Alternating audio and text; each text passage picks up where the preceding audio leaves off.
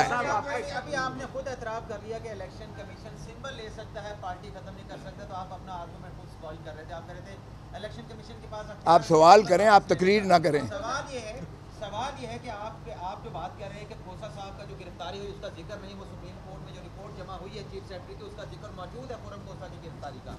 आप कह रहे हैं पूरे मुल्क में सेक्शन 144 लगा दिया गया आपके बंदों को पकड़ा गया सिर्फ़ छः लोगों के आपने बयान अलवी जमा करवाए हैं।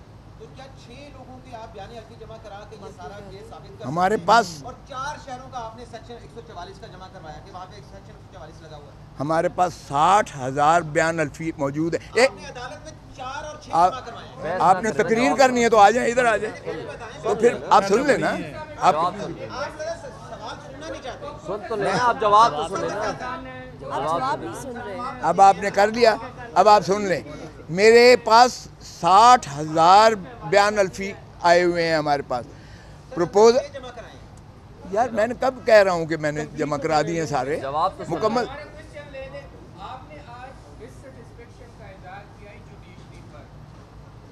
ये इलेक्शन के बाद इलेक्शन डिस्प्यूट इसी जुडिशरी में आएँगे इसने हल करने जब आपको इस अदलिया हमने आपने सुना आपने सुना नहीं। मैंने इज़्ज़त माब चीफ जस्टिस फायज ईसा कहा है। सुना है आपने? तो फिर इसका मतलब ये है कि मैंने अदम एतमाद किसी मखसूस पर किया। साहब आप समझते हैं कि अगर वो मेरे सरदार पर एतराज़ कर सकते हैं तो मैं उनके काजी होने आप पर। समझते हैं ये जो आप हालात बता रहे हैं तो ये सारे हालात तो उन्हीं हालात की तरफ़ इशारा कर रहे हैं जो डस्का में 20 प्रिजाइडिंग अफसर अगवा हुए थे। तो आप समझते हैं ये डस्का वाला इलेक्शन होने जा रहे हैं? ये इलेक्शन तो खैर उससे भी बदतरीन, बदतर होने जा रहा है, आपको नज़र आ रहा है। ये प्री पोल रिगिंग की, पाकिस्तान की तारीख की बदतरीन जो है ये एक नुमाइश होने जा रही है। लेकिन हमने अपने जो है, हमारा जो कारकुन है, हमारा जो चीता है, चीती हैं इन आप देखें कि वो वालहाना मोहब्बत करते हैं खान से। वो उस जज्बे के साथ, जुनून के साथ जाएँगे। पोलिंग स्टेशंस पर और वो उसी तरह वोट देंगे और हम पहरा देंगे हमारे वकील काला कोर्ट जाकर रिटर्निंग ऑफिसर्स के पास जो है प्रिजाइडिंग ऑफिसर्स के पास पोलिंग ऑफिसर्स पर, हर पोलिंग बूथ पर पहरा भी देगा और इन उनका हिफाजत भी करेगा। हम इंश्योर करेंगे। और हमें जलसे नहीं करने दिए जा रहे। आज मैंने चीफ जस्टिस को भी कहा, उनके लिए तो फ्री हैंड है। आप रोज़ दिखाते हो टीवी पे, फलां आ रहा है, फलां आ रहा है, फलां आ रहा है।